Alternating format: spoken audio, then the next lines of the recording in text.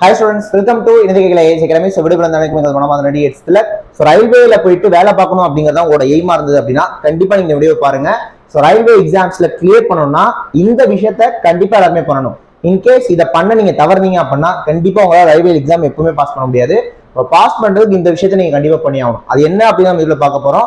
அதுக்கு முன்னாடி railway exam pass பண்ணுச்சிங்கன்னா அத்தனை பேர் நம்ம சேனல் சப்ஸ்கிரைப் பண்ணிட்டு பாருங்க. டெய்லி நம்ம வீடியோஸ் போட போறோம். வீடியோ லைக் பண்ணுங்க கமெண்ட் அதுக்கு ஷேர் பண்ணுங்க.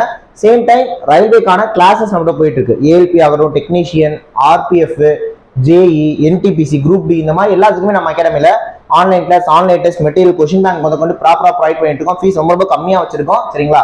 ஸோ இன்ட்ரெஸ்டட் ஸ்டூடெண்ட்ஸ் ஜாயின் பண்ணிக்கலாம். இதை தாண்டி ரயில்வே எக்ஸாம்ஸ்ல உங்களுக்கு ஏதாவது டவுட்ஸ் இருக்கு அப்படின்னாலுமே கூட அதை கிளாரிஃபை பண்ணணும். உங்களுக்கு ஒரு கைடன்ஸ் வேணும்னு நினைச்சீங்கன்னா seven seven zero eight one nine seven two eight one இந்த மாதிரி கான்டெக்ட் பண்ணி நீங்க டீடைல் கேட்டுக்கலாம். ஓகே இப்போ வாங்க நம்ம வீடியோக்குள்ள போயிடலாம். ஓகே ஆல்ரெடி அதாவது ரயில்வே எக்ஸாமோட அந்த மேக்ஸை ஒரு ஓவரால் சிலபஸ் வீடியோ நான் ஆல்ரெடி போட்டிருந்தேன்.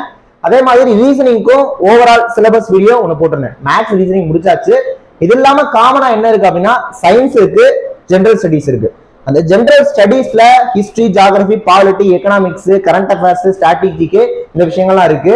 அப்படியே சயின்ஸ் போனீங்கன்னா உங்களுக்கு தெரியும் பிசிக்ஸ் கெமிஸ்ட்ரி பாட்னி ஜுவாலஜி இந்த விஷயங்கள் இருக்கும். இப்ப இந்த வீடியோல நம்ம ஜிஎஸ்க்கும் சயின்ஸுக்கும் நீங்க எப்படி ப்ரிப்பேர் பண்றது அப்படிங்கறதோட ஓவரால் என்ன எப்படி நீங்க படிக்கணும் அப்படிங்கறத நான் தெளிவா இந்த வீடியோல சொல்லிடுறேன். ஓகே ஃபர்ஸ்ட் விஷயம் மேத்ஸ் ரீசனிங் பொறுத்த வரைக்கும் நீங்க ஃபுல் எஃபர்ட் போட்டு தான் ஆகணும். ஏன்னா ரயில்வே எக்ஸாமுக்கு படிக்கிற அத்தனை பேரும் இந்த மேத்ஸ் ரீசனிங் நல்லா பண்ணுவாங்க. ஓகேவா அதாவது எப்பவுமே ஒரு காம்படிட்டிவ் எக்ஸாம் நம்ம கிளியர் பண்ணணும் நம்ம என்ன பண்ணலாம் எல்லாருக்கும் என்ன விஷயம் வருமோ அதுல நம்ம ஸ்ட்ராங்கா இருக்கணும். எந்த விஷயம் ஒருத்தவங்க டச் பண்ணாம இருப்பாங்களோ அதான் நம்ம டச் பண்ணாதான் நம்ம வேலைக்கு போக முடியும். அப்ப பிரைமரியா மேத்ஸ் ரீசனிங் எல்லாருமே போடுவாங்க. அதனால நீங்க அதுல ஸ்ட்ராங்கா இருக்கணும். ஓகேவா ரீசனிங்லாம் எடுத்துட்டீங்கன்னா ஃபுல்லாக அட்டன் பண்ணிடணும். அது எல்லாமே கரெக்டாக இருக்கணும் ரீசனிங்கில் ஒரு இருபத்தஞ்சு கேள்வி கேட்கறாங்கன்னா இருபத்தஞ்சுமே ரைட்டாக இருக்கணும். புரியுதுங்களா? மேக்ஸ் வந்து பார்த்தீங்கன்னா ஒரு எயிட்டி பர்சன்டாவது நீங்கள் கரெக்டாக அடிச்சிடணும். அப்போ ஓவரால் நீங்க ரீசனிங் மேத்ஸ் சேர்த்து பார்க்குறப்போ ஒரு நைன்டி பர்சன்ட் நீங்க ஸ்கோர் பண்ணி ஆகணும். இது மினிமம் நீங்க அடிச்சே ஆகணும். அப்ப நீங்க ஒரு ஒரு ஒரு ஆறு மணி நேரம் படிக்கிறீங்க ஒரு நாளைக்கு அப்படின்னா அதுல ஒரு மூணுல இருந்து நாலு மணி நேரம் நீங்க மேக்ஸ் ரீசனிங்க்கு தான் ஒதுக்கி ஆகணும். ஓகேவா ஸோ இதை வந்து முத முடிச்சிருவோம் நான் அதுக்கான சிலபஸ் எல்லாமே நான் சொல்லிட்டேன். இப்ப இந்த விஷயங்களுக்கு வருவோம். சயின்ஸ் ஜென்ரல் அவேர்னஸ் நம்ம ஜென்ரல் அவேர்னஸ் சொல்லிடுறேன். இப்ப நம்ம most of the time maths ரீசனிங்ல போடுறப்ப இந்த ஜிஎஸ் அப்படிங்கிறதும் கடல் மாதிரி இருக்கும் சிலபஸ் ஏன்னா ஹிஸ்டரி ஃபுல்லா படிக்கணும். Geography polity economics current affairs static இத்தனை விஷயங்கள் இருக்கு. ஆனா இவ்வளவு விஷயங்கள் சேர்த்து அவங்க கேட்க போற கேள்விகள் எவ்வளவுன்னு பாத்தீங்கன்னா ஆர்ஆர்பி டெக்னீஷியன் எல்லாம் பத்து கேள்வி தான் கேட்கறாங்க மீதி எக்ஸாம்ஸ் போனாலும் ஒரு இருபது கேள்வி இருபத்தஞ்சு கேள்வி இப்படிதான் கேட்கறாங்க history geography polity economics current affairs strategy சேர்த்து ஒரு இருபதுலேருந்து இருபத்தஞ்சு கேள்வி. அந்த மாதிரி தான் வருது. புரியுதுங்களா? இப்போ இதில் நீங்க என்ன பண்ணணும்னா கரண்ட் அஃபேர்ஸ் கண்டிப்பாக படிக்கணும். சரிங்களா? கரண்ட் அஃபேர்ஸ் கண்டிப்பாக படிக்கணும். ரயில்வே எக்ஸாம்ஸில் இந்த ஜென்ரல் ஸ்டடீஸில் கரண்ட் அஃபேர்ஸோட வெயிட்டேஜ் தான் அதிகமாக இருக்கும். ஸோ முக்கியமாக நீங்கள் கரண்ட் அஃபேர்ஸும் ஸ்ட்ராட்டஜிக்கையும் படிச்சிடணும். அது எப்படி படிக்கணும் அப்படின்னா for exam daily current affairs படிச்சிருது என்ன கேட்டால் பெட்டர் ஓகேவா டெய்லி கரண்ட் அஃபேர்ஸ் படிச்சிடணும். ஒரு வாரம் முடிவில் வீக்லி ரிவிஷன் கொடுத்துடணும். திரும்ப மந்த்லி ரிவிஷன் பண்ணிடணும். அந்த மாதிரி கரண்ட் படிக்கணும். ஒரு நியூஸ் படிக்கிறப்பவே அதுக்கு ரிலவெண்டான ஸ்ட்ராட்டஜிக்கே படிச்சிடணும். இப்போ ஃபார் எக்ஸாம்பிள் தமிழ்நாட்டுல இருந்து ஒரு நியூஸ் படிக்கிறீங்க அப்படின்னா தமிழ்நாட்டோட சீஃப் மினிஸ்டர் யார்? தமிழ்நாட்டோட கவர்னர் யார்? தமிழ்நாட்டில் என்னென்ன நேஷனல் பார்க் இருக்கு? தமிழ்நாட்டில் என்னென்ன வைல்ட் லைஃப் சாங்சுரி இருக்கு? தமிழ்நாட்டில் முக்கியமான ஏர்போர்ட்ஸ் என்னென்ன இருக்கு? சரிங்களா? தமிழ்நாட்டில் என்னென்ன ரிவர் ஓடுது? தமிழ்நாட்டில் எத்தனை டேம்ஸ் இருக்கு? சரிங்களா? ஸோ இந்த மாதிரி விஷயங்கள் எல்லாத்தையுமே நீங்க படிச்சிடணும். புரியுதுங்களா? சேம் டைம் அந்த ஒரு டே படிக்கிறீங்களா கரண்ட் அஃபேர்ஸ் அதுல இருக்கக்கூடிய இம்பார்ட்டன்ட் டே என்ன? அப்ப நம்ம கரண்ட் அஃபேர்ஸ் படிக்கிறப்பே பின்னால ஸ்ட்ராட்டஜிக்கையும் கவர் ஆயிடும் அந்த மாதிரி நீங்க படிச்சீங்கன்னா அதை தனியா படிக்க தேவையில்லை. ஸோ இதுல உங்களுக்கு கவர் ஆயிடும். மேபி ஏதாவது ஒரு நேஷனல் நியூஸ் படிக்கிறீங்க அப்படின்னா ஓகேவா அந்த கண்ட்ரியோட கரன்சி என்ன? கேபிட்டல் என்ன? புரியுதுங்களா? இப்போ இந்தியானா இந்தியாவோட கேபிட்டல் என்ன? இந்தியாவோட கரன்சி என்ன? அந்த மாதிரி நேஷனல்ஸ் படி அதாவது ஒரு கண்ட்ரியை பத்தி படிக்கிறப்ப அந்த கண்ட்ரிக்கான டேட்டா ஸ்டேட்டை பத்தி படிக்கிறப்ப ஸ்டேட்டுக்கான data as well as important days இதையும் அப்படியே கவர் பண்ணிட்டே வந்தீங்கன்னா கரண்ட் அவர் ஸ்ட்ராட்டஜிக்கே ஈஸியாக படுத்தலாம் கரண்ட் அவர் ஸ்ட்ராட்டஜிக்கே அதிக இம்பார்ட்டன்ஸ் கொடுங்க ஜென்ரல் ஸ்டடிஸ் அப்போ இந்த ஹிஸ்ட்ரி ஜாகிரபி பாலிட்டி எக்கனாமிக்ஸ்லாம் படிக்க வேணாமா சார் அப்படின்னா படிங்க. ஆனால் நான் சொல்கிற ஆர்டரில் படிங்க. ஃபர்ஸ்ட் பாலிட்டிக்கு அதிக இம்பார்ட்டன்ஸ் கொடுங்க.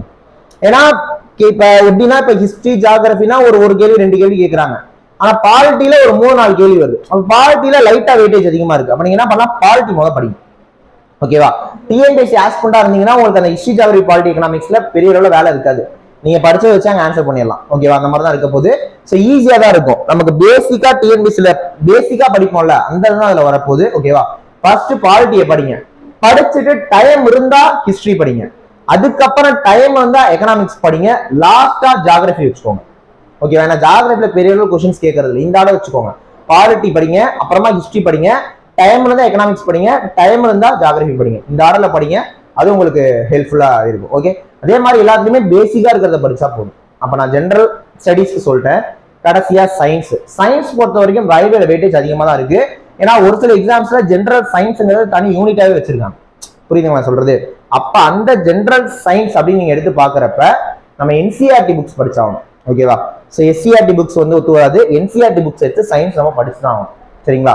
அப்போ மோஸ்ட் ஆஃப் த டைம் நீங்க மேத்ஸ் ரீசனிங்க்கு ஒதுக்கி என்சிஆர்டி புக்ல சயின்ஸை படிச்சு ஜென்ரல் ஸ்டடிஸ்ல கரண்ட் அவர் ஸ்ட்ராட்டஜிக்கே முத கரைச்சு குடிங்க அப்புறமா பாலிட்டி அப்புறமா ஹிஸ்டரி அப்புறமா எக்கனாமி அப்புறமா ஜாகிரபி இந்த ஆர்டர்ல போங்க. எனக்கு தெரிஞ்ச அந்த ஜென்ரல் ஸ்டடீஸ் இருக்குல்ல அதுக்கு ரொம்பலாம் மூச்சை போட வேண்டாம். நான் சொல்ல தெளிவா புரியுதா? ஏன்னா ஆர்ஆர்பி டெக்னீஷியனாலாம் அந்த கரண்ட் பத்தி GK history geography polity economy சேர்த்தே பத்து கேள்வி தான் இந்த பக்கம் பாத்தீங்கன்னா ஒரு தொண்ணூறு கேள்வி இருக்கு. அதனால தான் சொல்லிட்டு இருக்கேன். ஓகேவா அதனால கொஞ்சம் கிளியரா நீங்க படிங்க. இப்போ என்ன விஷயம்னா இந்த ஆர்ஆர்பில சரிங்களா? ஏஎல்பியில சிபிடி ஒன் எடுத்தீங்கன்னா இதான் சிலபஸ் ஆர்ஆர்பி டெக்னீஷியன்ல கிரேட் த்ரீ எக்ஸாமுக்கு இதான் சிலபஸ் கிரேட் ஒன்ல கொஞ்சம் சிலபஸ் எக்ஸஸா இருக்கும் டெக்னிக்கல் சிலபஸ் உள்ள இருக்கும். ஆனா அவங்களும் இதை படிச்சாகணும் சரிங்களா? ஆர்பிஎஃப்ல ஃபுல் சிலபஸ் இதுதான். ஆர்ஆர்பி ஜேஇல சிபிடி ஒன்ல ஃபுல் சிலபஸ் இதுதான். ஆர்ஆர்பி என்டிபிசில சிபிடி ஒன் சிபிடி டூ ரெண்டு ஸ்டேஜ் இருக்கும் ரெண்டு ஸ்டேஜுக்கு இதான் சிலபஸ் ஆர்ஆர்பி குரூப் டிக்கும் இதான் சிலபஸ் அது சிங்கிள் எக்ஸாம் இதான் சிலபஸ் அப்ப இந்த எல்லா எக்ஸாமுக்குமே நீங்க மேக்ஸ் ரீசனிங் இந்த ஜென்ரல் ஸ்டடிஸ் சயின்ஸ் இதை படிச்சு தான் ஓகே இந்த எல்லா எக்ஸாம்ஸ்க்குமே நான் சொல்ற மாதிரி படிங்க. மேக்ஸ் ரீசனிங்க ஒரு ஒரு ஃபுல்லா கவர் பண்ணிடுங்க. அதுல எதுவுமே விட வேண்டாம். சரிங்களா? அந்த மாதிரி படிச்சிருங்க ஆஸ் பிளஸ் அப்புறமா சயின்ஸையும் முக்கியமா படிங்க. என்சிஆர்டி புக்ஸ்ல சயின்ஸை படிச்சிருங்க ஜென்ரல் ஸ்டடீஸ்ல கரண்ட் அவர் ஸ்ட்ராட்டஜிக்கு முக்கியத்துவம் கொடுங்க. வேற ஒன்றும் பண்ண தேவையில்ல. இதை கரெக்டா அந்த ட்ராக்ல போனீங்கன்னா கண்டிப்பா நீங்க ரயில்வே எக்ஸாம்ல பாஸ் பண்ணிடலாம். இதை விட்டுட்டு வேற வேலை ஏதாவது பண்ணிட்டு இருந்தீங்கன்னா கண்டிப்பா நம்மளால பாஸ் பண்ண முடியாது. இந்த ஹிஸ்ட்ரி ஜாகிரபி பாலிட்டி எக்கனாமிக்ஸ்லாம் மூச்சை போட்டு படிச்சுட்டு இருக்க வேண்டாம் வேஸ்ட் ஓகே மேக்ஸ் ரீசனிங்க்கு ஃபர்ஸ்ட் இம்பார்ட்டன்ஸ் கொடுங்க. அப்புறம் சயின்ஸுக்கு கொடுங்க. ஜென்ரல் அவேர்னஸ் திரும்ப தான் சொல்றேன். கரண்ட் அஃபேர்ஸ் ஸ்ட்ராட்டஜிக்கு இம்பார்ட்டன்ஸ் கொடுங்க. ஓகே ஸோ மேற்கொண்டு ரயில்வே எக்ஸாம் பத்தின உங்களுக்கு தகவல்கள் வேணும்னா அடுத்தடுத்து நம்ம சேனலில் வீடியோஸ் வரும். பாருங்க. ஃபாலோ பண்ணுங்க. சேம் டைம் கிளாஸஸ் போயிட்டு ஜாயின் பண்ணிக்கோங்க. டவுட்ஸ் இருக்குன்னு நினைக்கிறவங்க இந்த நம்பருக்கு கான்டெக்ட் பண்ணி உங்களோட டவுட்ஸ் நீங்கள் கிளாரிஃபை பண்ணிக்கலாம். நெக்ஸ்ட் வீடியோவில் பார்க்கலாம். தேங்க்யூ